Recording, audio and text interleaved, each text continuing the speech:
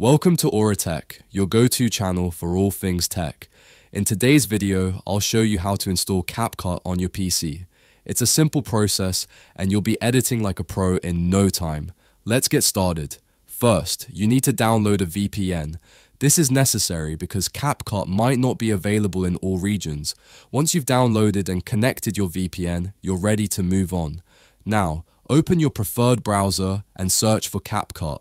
The first link should take you to the official CapCut website. Click on it to proceed. On the CapCut website, you'll see a download button. Click on Download for free to begin the download. If the download doesn't start immediately, no worries. Just click on the Click Here button that appears above to manually start the download. Once the download is complete, locate the downloaded file and click on the setup file to begin installation. CapCut will now start downloading the necessary files it needs for installation. This might take a little time, so be patient and let it finish. Once the setup is complete, you'll see CapCut on your desktop. Go ahead and open the app.